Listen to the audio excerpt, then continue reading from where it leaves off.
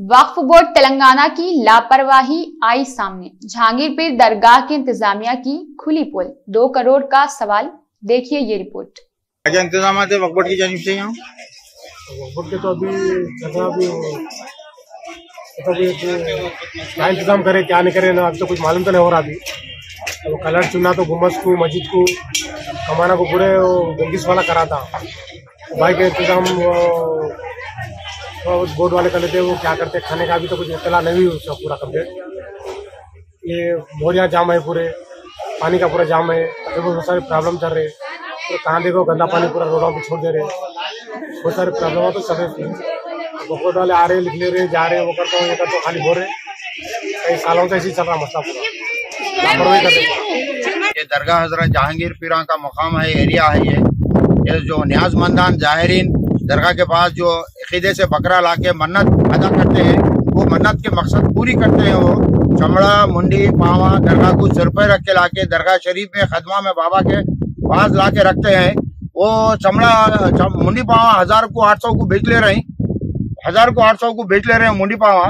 हालाँकि वो चमड़ा लेकर के यहाँ पूरी गंदगी दो मिनट नहीं ठहर सकते यहाँ पर बाबा के एरिया में।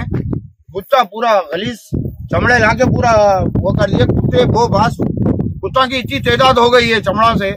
पूरा किधर किधर के की चमड़े आके दूर दूर मकाम पे लेकर के चमड़े डाल दिए। ये वेंचर है ये। ये वेंचर में पब्लिक प्लेस में पब्लिक के मकाम में आगे इतनी गंदी बो बास लगा के चले गए। बोर्ड वाले, सलीम साहब को जरी शर्म नहीं है, अकल नहीं है। क्या उनकी क्या भी कर लेंगे? उन्होंने एसी में बैठे हुए रहते मेरे के अमल में नहीं है, मैं नहीं मालूम। कलीज पूछता हूँ, कलीज बोल तुम बोलते उन्होंने। वहाँ जाके बोले तो। आके देखे तो मालूम होता, सलीम साहब का दौरा करो यहाँ। मोरिया का पानी, जाहिरीन को दरगाह में तकलीफ़। हाँ इतने करोड़ का टेंडर लिया, मैं वो है गवर्नमेंट बोली। मैं चेयरमैन बोल रहा उन्हें, वो फंसी बोलने वाला। क्या है ये? दरगाह में जुलूम कर दे रहे। ऐसो जाहिरीन को कुछ भी टॉयलेट बाथरूम हमाम, कुछ भी नहीं, पानी की सहूलत नहीं।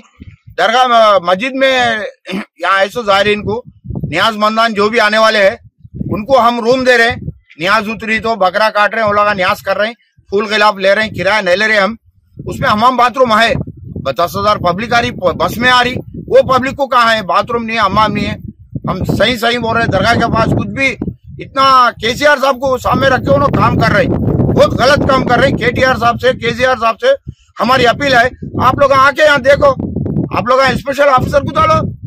आप बोर्ड चेयरमैन सीओ कौन है? उन्होंने तो आके देखो। क्या कर रहे हैं? गली, गंदगी, मोरिया का पानी रोड पे से जा रहा। यहाँ दरगाह हज़रत जहांगीर पीरा का उर्स, बीस तारीख को, बीस जनवरी को हम पूरा, पूरी मुकम्मल तैयारी हो जाना अब तक चार दिन उर्स को रखे हुए है। अब तक चुनना पानी, वो है कुछ भी हुकूमत के अमल में नहीं है। अमल हम, वो नहीं मालूम, ये नहीं मालूम, हमारे बोलते हुए जाके जुमेरात वो जुमेरात के दिन उर्स है। दिन संक्रांत की पहली जुमेरात को संदल है, जहांगीर पीरा का। दुनिया की पब्लिक आती। उनको क्या है हमाम नहीं, बाथरूम नहीं, दरगाह को कलर नहीं, चुनना नहीं, कुछ भी नहीं, क्या भी नहीं। जहाँ से संदल निकलता है जहांगीर पीरा की दरगाह का जो संदल लेके जाती है बोर्ड चेयरमैन सीओ आके एमएलए साहब आके मिनिस्टर साहब आके, वहाँ पर इतनी गंदगी रखी हुई है, इतने गुड नंबर और पानी कपड़े उठा के जाना पड़ेगा। आप दरगाह में, मस्जिद में जाना पड़े तो वह हल होगा। मस्जिद में वज़ू करने पानी नहीं। बैतुल खला का, वो मोरिया का पानी रोड पे, गंदा पानी आके रोड पे डाला हुआ है। आप सलीम साहब सही मुसलमान है। बाप की जागीर नहीं है तुम्हारी ओकबट प्रॉपर्टी है, अमल ओकबट का पैसा है। तुम वहाँ बैठ के मोतवरी नहीं करना। आके देखो यहाँ। वो सा केस करते कर लो? तुम्हारा पीरियड गिरेड नहीं। मैं भी एक एमएलए शादनगर एमएलए के साथ रहता हूँ मैं। अंजय यादव के साथ। अंजय यादव साहब, आके देखो। यहाँ दरगाह के पास क्या तकलीफ़ है? मैं एक बात बोल रहा हूँ नहीं सुन रहे तुम लोग एमएलए साहब बोल रहे हैं उपलाश्वर मिनिस्टर साहब, बहुत अच्छे आदमी है, बेचारे हमारे एमएलए साहब की बात अमल करे। जल्द से जल्द काम कर, तुम बोले।